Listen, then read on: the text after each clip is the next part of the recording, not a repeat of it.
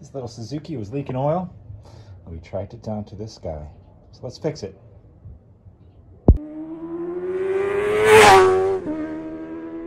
This is pretty much the worst video ever made. Napoleon, like anyone can even know that. Hello my friends, and welcome to Tom's Tinkering and Adventures.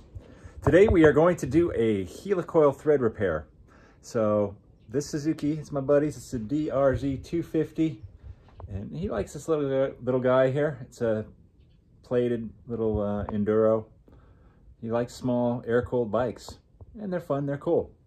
But uh, the uh, cam cover has been leaking on it for quite a while, and I was the last guy to work on it. So I said, bring it back. He brought it over here and we noticed that we could not tighten up that uh, cam cover bolt, the one that I pointed out there. The threads are stripped out on it. So let me show you what we are going to do. We got kind of fortunate on this because uh, we can just remove this cam cover here right off of the bike very easily and bring it over to the bench to work on it. Otherwise, we'd have to work on it here. And it's not terrible access, but it'll be easier to work on in the bench, on the bench. And uh, what I have purchased here is a helicoil uh, repair kit, thread repaller kit. Yeah, this is top quality Chinesium here. Not suitable for children Anyway, this ought to work. Um, it's got a really odd thread pitch, M7 by 1.0. So before you do any sort of a thread repair um, job, you need to know what size threads you're dealing with. And uh, having a tap and die set kind of helps. So you can use, uh, there's thread gauge right here, or you can just run um, a tap down until you feel which one feels right. Anyway, that's what we're gonna use. So my first step is gonna be removing this cam cap. I'll get that off, bring it over to the bench. It may have been hard to see when it was on the bike, but uh, hopefully you can see in there, there's hardly any threads remaining.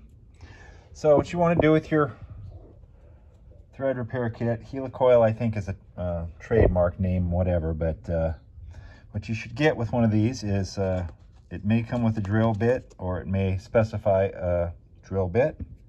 And then you'll get a tap. And then you'll have an insert tool. And you should have a little tool here also to break off the tail of your helicoil. And this is what a helicoil is. It's a thread insert.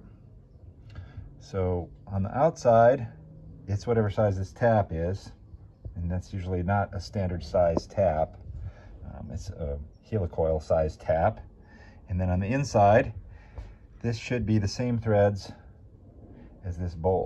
So let's see if I can set you up and double check that. I got 20 of these to mess up in case I don't do it right the first time.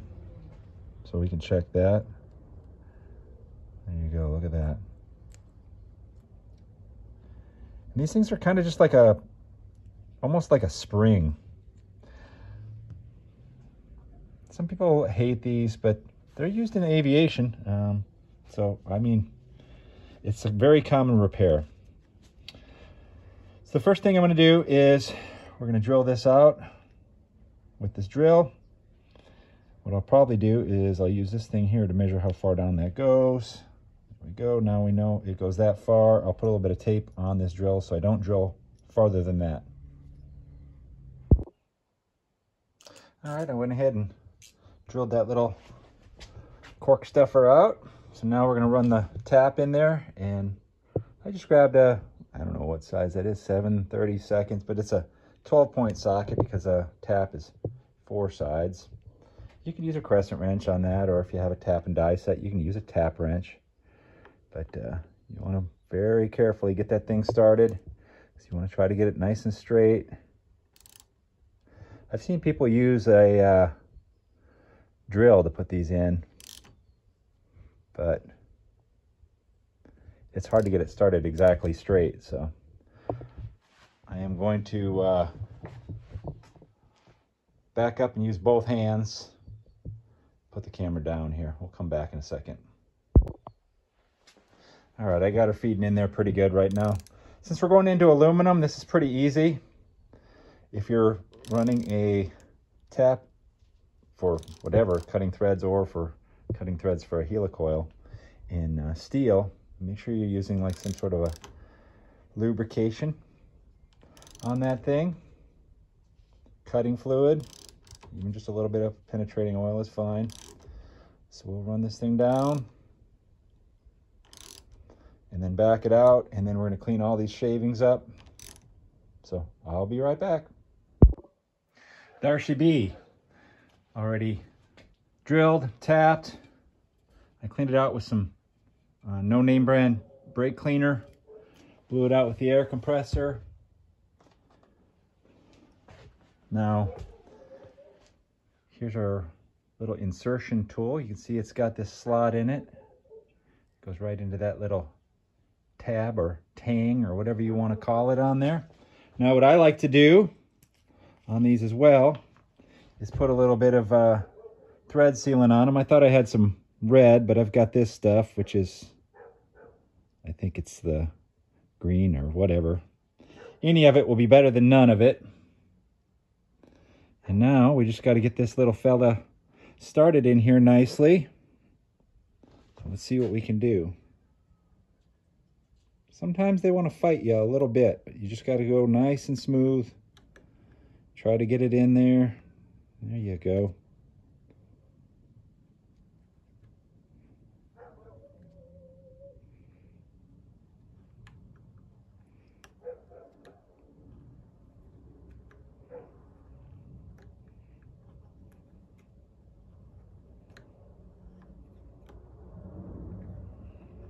Fortunately, these cam cover um, bolts don't take a lot of torque.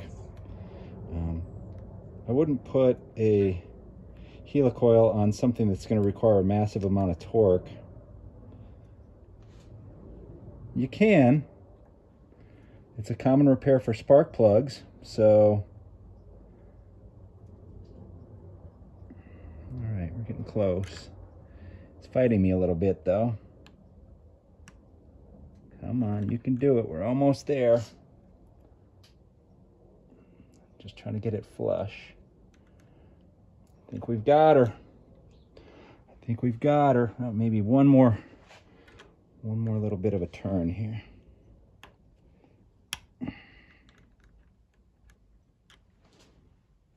All right, well, it looks like our looks like our tab broke off. The last little bit. Let's see it. Is he in there? See it. But what you're supposed to do when you get it finally in there is that little tab that you screwed it in with. You use this little fella and you tap that off of there. But I think that thing just snapped. And we have one, one thread just above, which may or may not cause us trouble. We'll see. So we're gonna let that set up a little bit. I was able to get this thing driven in a little bit more. Where I was failing was this uh, little stopper. I had that adjusted a little too shallow. So I slid that up a little bit, tightened it up, and we still do have our little tab on the bottom of there. So let's see if we can knock that off. This, the hammer. Oh yes, we'll get a full on action shot.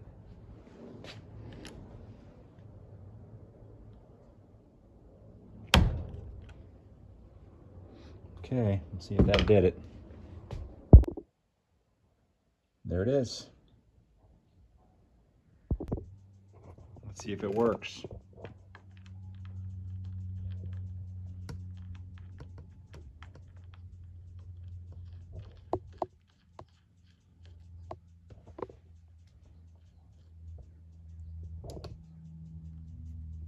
Feels pretty decent.